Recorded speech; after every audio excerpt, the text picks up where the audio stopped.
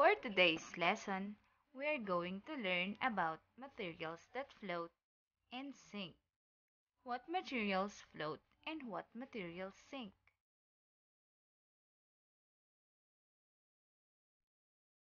Kids, are you ready? Let's get started. Unscramble the following words. The first word is float. The second word is sink.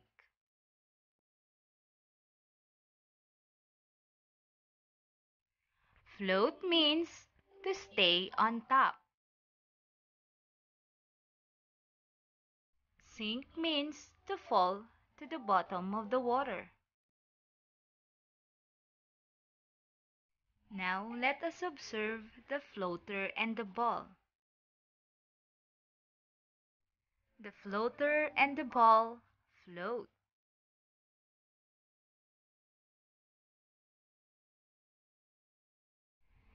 Now let's do this activity.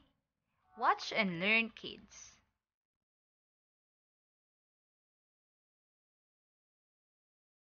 The fork sinks. Amazing!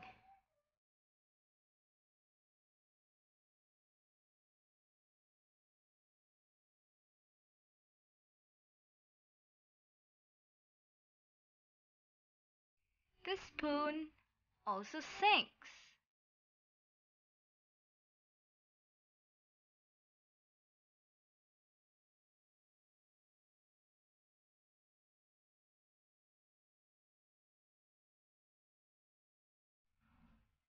The coins sink as well.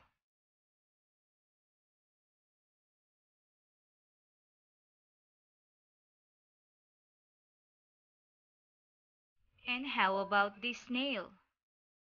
The nail sinks.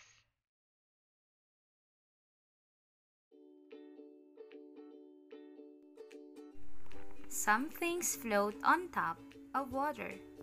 Some things stay submerged partway down, and some things sink.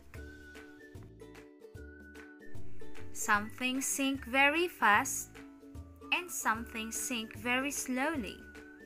Object's shape can affect its ability to float, but some materials float no matter what their shape. Some things float at first, but then sink as they absorb water or take on through holes.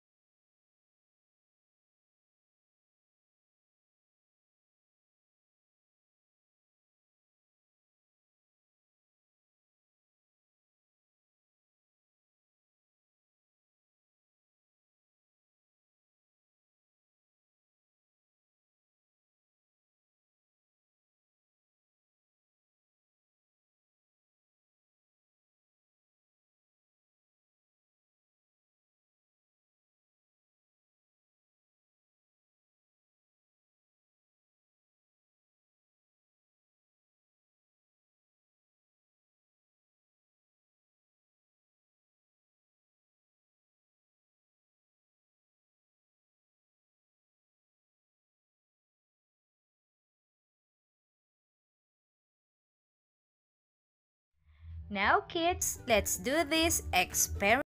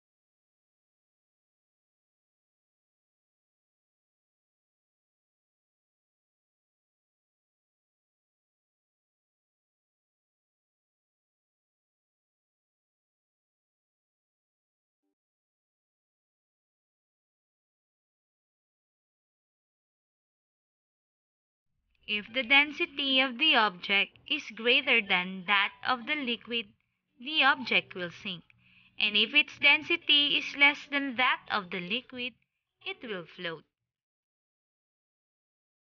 I have observed and found out that substances which are less dense than water float, while more dense substances sink.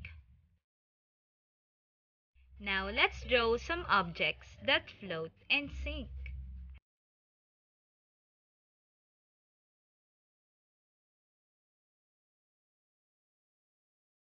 Lastly, let's do this activity. Will it sink or float?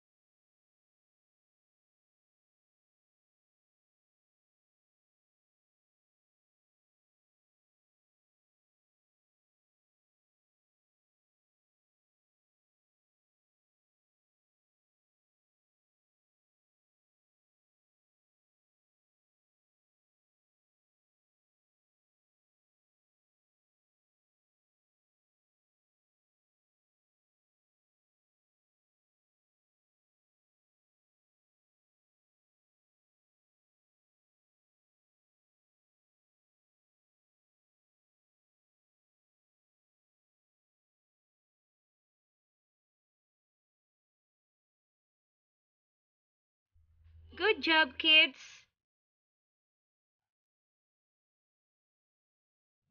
Until next time, goodbye.